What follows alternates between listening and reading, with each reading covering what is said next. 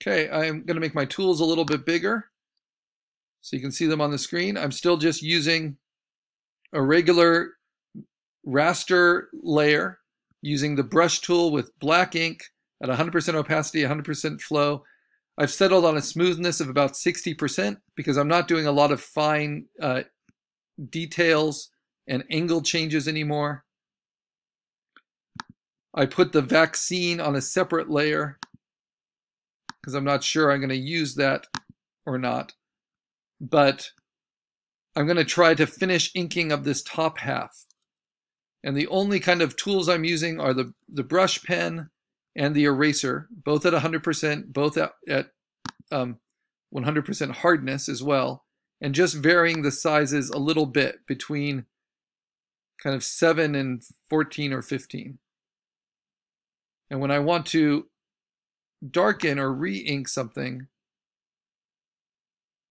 I just push over it again. Just like I would with an ink pen of a fixed weight.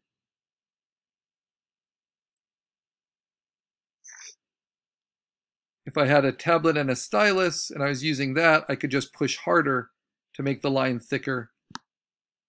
But in some ways, it's beneficial to be able to go over the lines twice.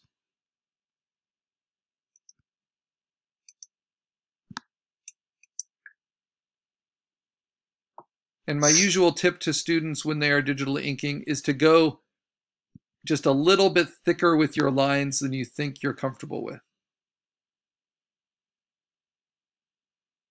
Because the tendency is to go a little too thin. And if we're going to go through all this effort, we want our lines to, to matter.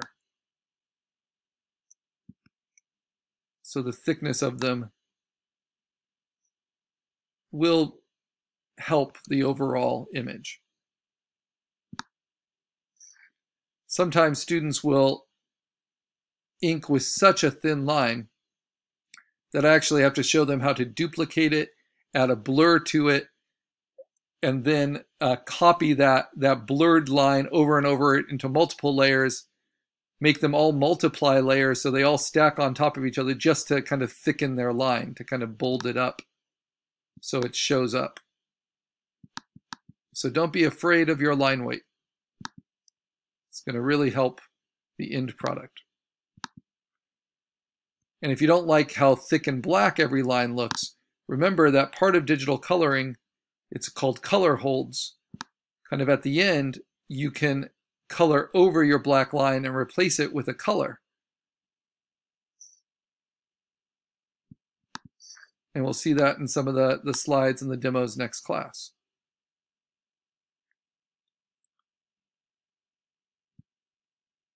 So for now, we're just trying to get the most satisfying line art that we can.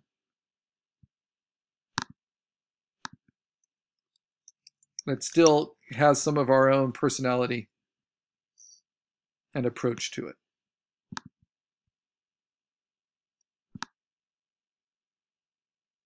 Just to remind you, because I haven't in a while, I'm going to go ahead and full bleed ink this knife handle. So I'm going to make it solid black and remind you how I do that. It's been a while.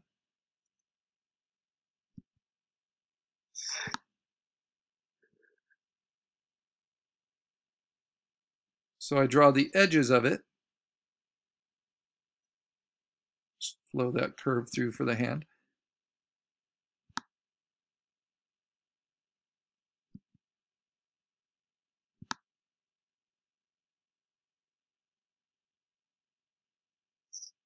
So I want to get around these fingers.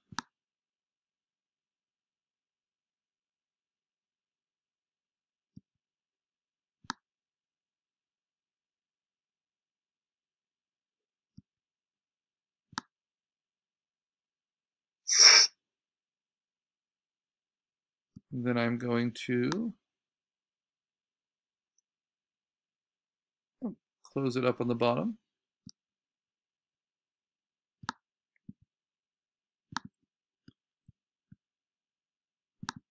And because it's going to be full bleed, I'm only worried about the edge that doesn't get filled in as I'm inking.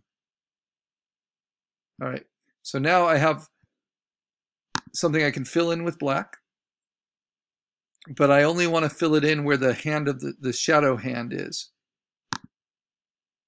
And that's going to be right here. So from here up, that handle is going to be black. So I take my paint bucket, I drop it in. I have contiguous and anti-alias turned on, but then I go back to my brush and I just knock out that little ridge that's left. So I want it to be like a solid puddle of ink. It's called full bleed because that's what the printers do. They flood that portion of the, the film work with ink.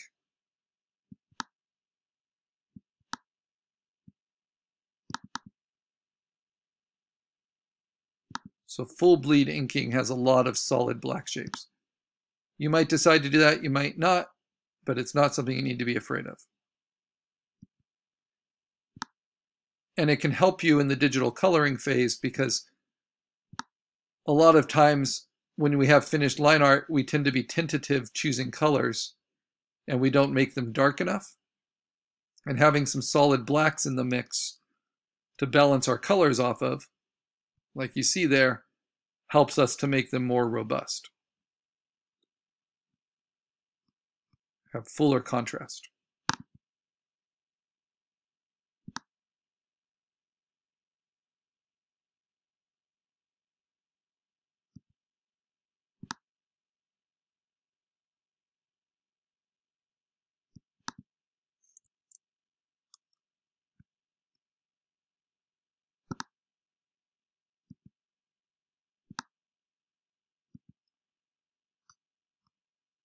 Right, for those fingers, I'm going to switch to a slightly smaller brush.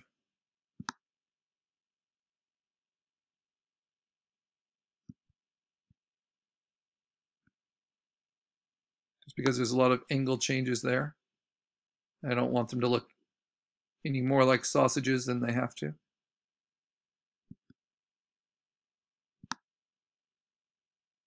But remember, I said 300% is about as much as I ever want to zoom in.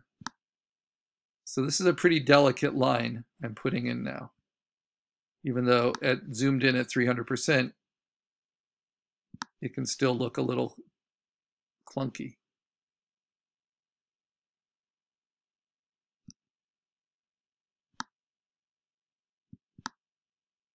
Come on.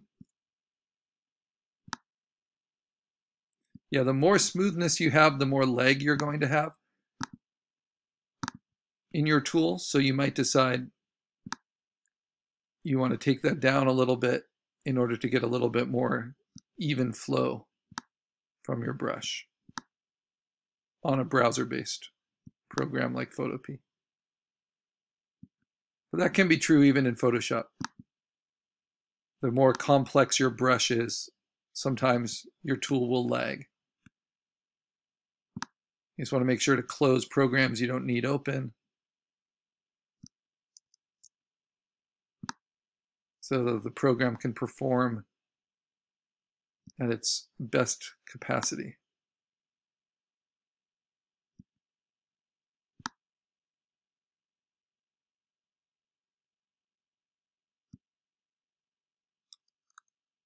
All right. Now the knife is a little bit more delicate than some of the other things I've been drawing. So I'm going to keep it at this line weight and just try to have fun with it.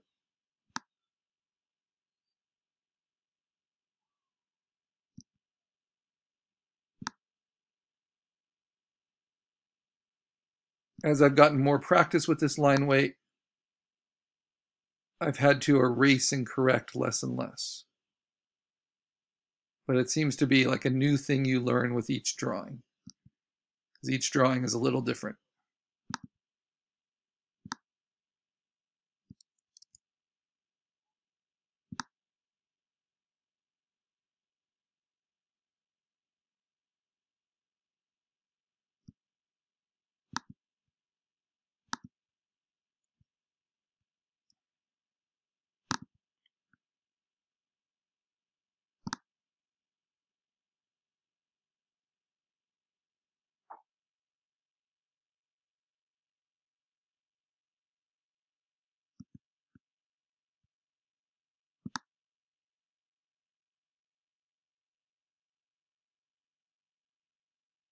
So on details like the hands and tools, I'll be zoomed in to do it, but most of the time I want to ink at just 100%.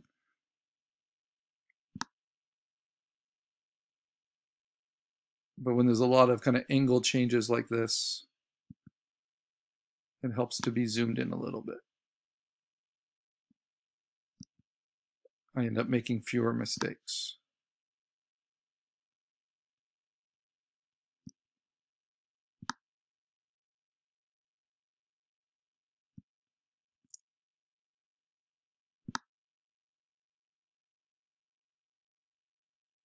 Ah, a tough angle. Let's try going up. There we go.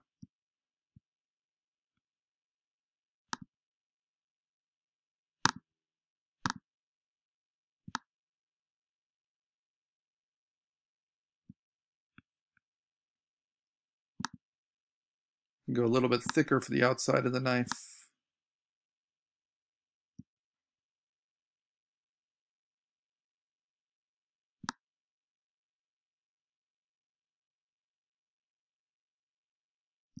Come to its points.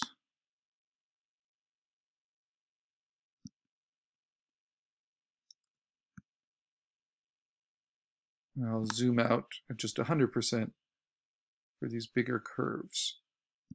Sometimes going really fast helps for a swooping curve. This is where kind of vectors are tempting because you know you can really control the curve perfectly that way. But you don't want them to look too uh, mechanical either. So instead, I like to do kind of a few passes like that and then clean it up with the eraser. And I probably should have used the tilt tool and found a more advantageous angle too. It's just whatever you have the patience for.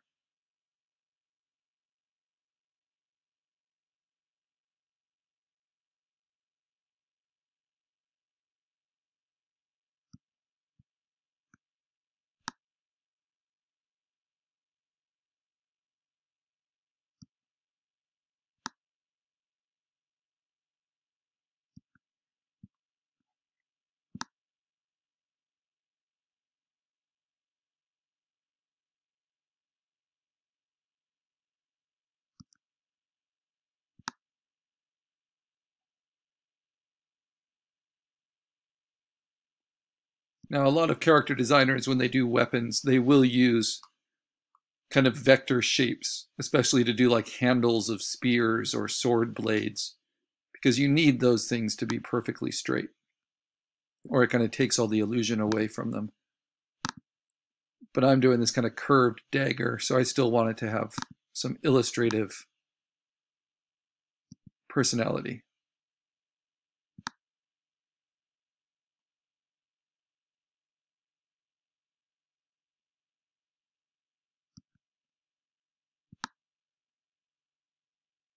And there's a rich history of tattoos of daggers and blades.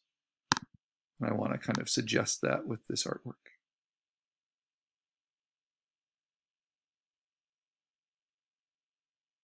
Ah.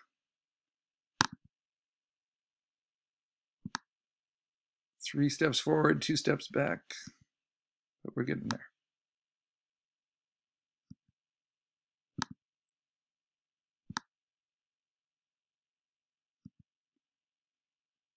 Okay, so that's going to work. The inside of the blade. I just want to ink that top part. The bevels.